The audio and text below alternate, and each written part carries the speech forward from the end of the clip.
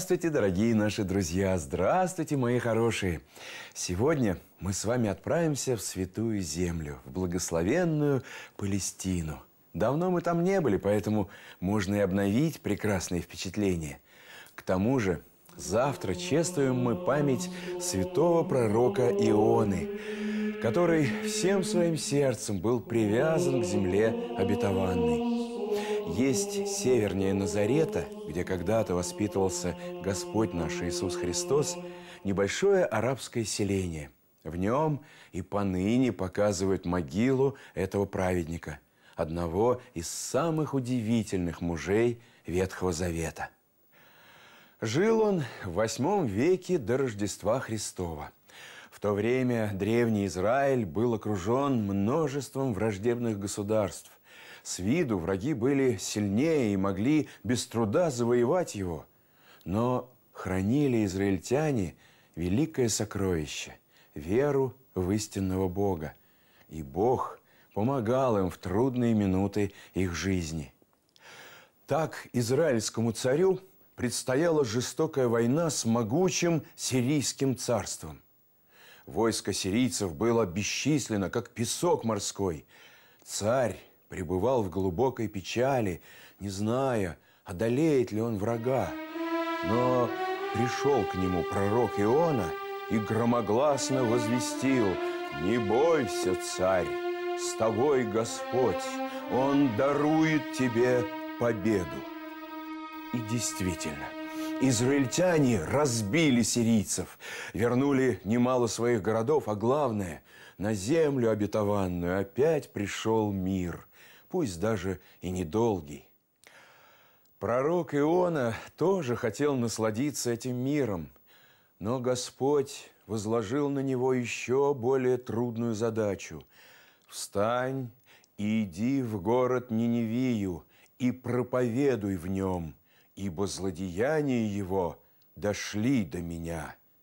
Такие слова услышал пророк из уст Бога и сразу же смутился.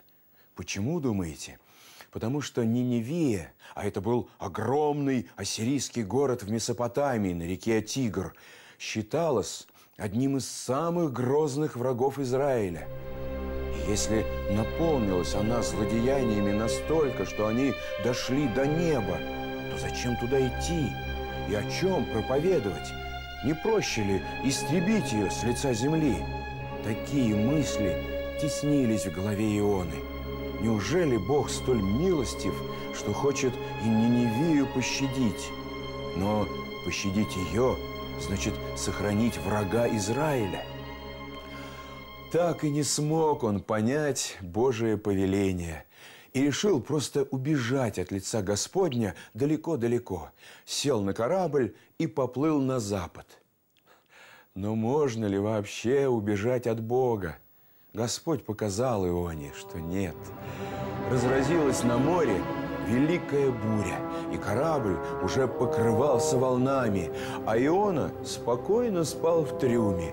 Корабельщики разбудили его и начали расспрашивать, кто он и куда едет. Иона рассказал им все как есть. Поняли они тогда, что бежит он от лица Господня и не хочет исполнять его волю – «Что сделать нам с тобою, чтобы море утихло?» В страхе спросили они. «Возьмите меня и бросьте в море, потому что из-за меня постигла вас эта беда», ответил им Иона. Почему он так сказал? Потому что верил, что Господь и в море не даст ему погибнуть. И действительно, повелел Бог громадному морскому зверю проглотить Иону. И был пророк три дня и три ночи внутри этого чудища и дышал тем воздухом, который вдыхал зверь. Горячо молился он Богу о своем спасении. И умилостивился Господь и приказал зверю извергнуть Иону на сушу. Едва поднялся пророк на ноги на песчаном берегу, как вторично услышал голос Божий – иди в Ниневию и проповедуй. И пошел Иона к злейшим врагам Израиля и возвестил, через сорок дней Ниневия будет разрушена. И поверили жители этого города словам пророка. Объявили всеобщий пост и начали со слезами каяться в своих грехах. А Иона ходил посреди них с грозным видом – Кайтесь, не кайтесь, а настал вам конец. Одним врагом меньше, думал он. А когда прошло сорок дней, он вышел из города и сел на пригорок, чтобы видеть гибель Ниневии. Сидел долго и никакого бедствия не увидел. Это сильно его огорчило – Начал было он взывать к Богу. Почему пророчество не исполнилось? Почему щадишь ты наших врагов? Что же ответил ему Господь? Да просто пожалел я их. Ведь так усердно приносили они покаяние, как Израиль никогда и не каялся. Так Бог дал понять пророку Ионе, что не только израильтяне народ избранный, что и все другие племена и языки могут войти в вечное Царство Божие.